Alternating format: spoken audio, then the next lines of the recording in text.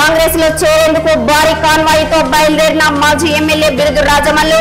రేవంత్ రెడ్డి సమక్షంలో కాంగ్రెస్ పార్టీలో చేరిక రాబోయే ఎన్నికల్లో రాక్షస సంహారానికి ప్రజలు సిద్ధం కావాలని పిలుపు. మద్యం షాపులకు గెజెట్ నోటిఫికేషన్ విడుదల వివరాలు తెలిపిన ఆబ్కారీ జిల్లా అధికారి మహిపాల్ రెడ్డి. పోలీస్ శాఖ నిర్వహించే బ్లడ్ డొనేషన్ క్యాంప్కు భారీ స్పందన మహిళలు ముందుకు రావాలని ఎస్ఐ మహేందర్ విజ్ఞప్తి.